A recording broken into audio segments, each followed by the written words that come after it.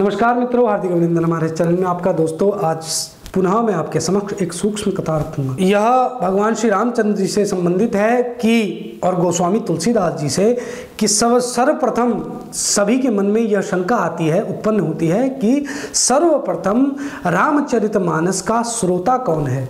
तो इसके विषय में खुद गोस्वामी जी ने रामचरितमानस में इसका संपूर्ण वर्णन किया है कि सर्वप्रथम श्रोता कौन है रामचरित मानस का? जैसा कि हम सब यही जानते हैं कि भगवान शिव ने प्रथम बार माँ पार्वती को यह कथा सुनाई। भगवान श्री रामचंद्र जी के अनन्य भक्तों में से एक है भोलेनाथ। अब आप सोच रहे होंगे कि भोलेनाथ कैसे राम जी के भक्त हुए? तो आप सभी ये जानते होंगे, जब वो ध्यान में बैठते हैं तो केवल राम का नाम ही वह उच्चारण करते हैं अपने मन में। भगवान श्री राम को ही वह धारण करते हैं और उन्हीं के ध्यान में सदैव रहते हैं।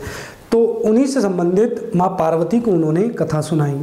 लेकिन गोस्वामी जी ने चौपाई रामचरित मानस की चौपाई नंबर 112 और 113 से लेकर चौदह तक में यह वर्णन कर दिया है कि सात कल्प पहले, सात कल्प पहले श्री लोमश ऋषि द्वारा यह कथा काकभूषणी जी को उन्होंने सुनाई।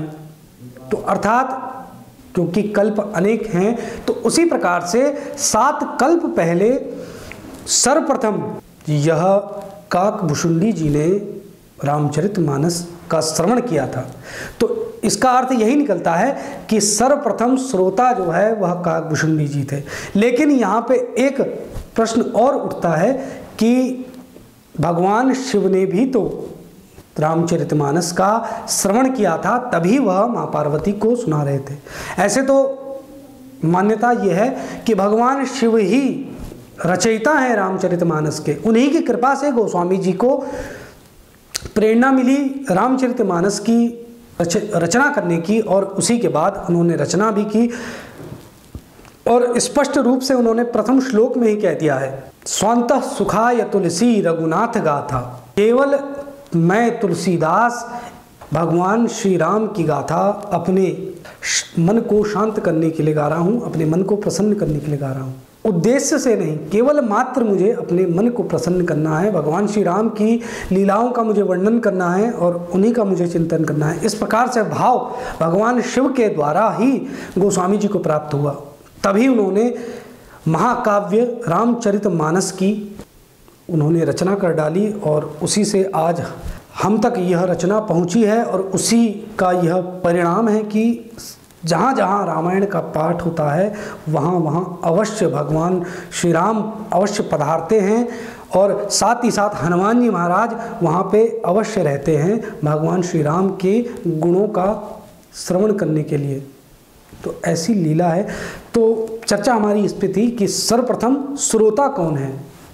तो गोस्वामी जी ने खुद ही इसके विषय में बता दिया कि सर्वप्रथम श्रोता जो है, वह काकभूषुंडी जी हैं और काकभूषुंडी जी द्वारा ही नीलांचल पर्वत पर भगवान शिव ने वह यह कथा श्रवण की थी। हंस रूप में वह बैठे थे। जब गरुड़ जी को काकभूषुंडी जी यह कथा सुना रहे थे तो हंस रूप में जब वह विराजमान हुए भोलेनाथ, उन्होंने कथा का श्रवण वहीं पे किया। तो सर्वप्रथम पहले श्रोता, ना गरुड़ जी हुए, ना भगवान शिव हुए और ना पार्वती जी हुई। सबसे पहले श्रोता थे काकभूषुंडी जी, जिनको लोमश ऋषि द्वारा सात कल्प पहले ही इस कथा का श्रवण उन्होंने कर लिया था। यही सुंदर चर्चाएँ होती हैं भगवान की। प्रत्येक दिन हमें भगवान का चिंतन करना चाहिए और आशा करता हूँ कि इन कथाओं से कुछ ना कुछ सीख आप ले रहे होंगे अवश्य। दोस्तों, आज के लिए बस इतना ही। पुनः आपके समक्ष एक सूक्ष्म कथा लेकर मैं प्रस्तुत होऊँगा। धन्यवाद।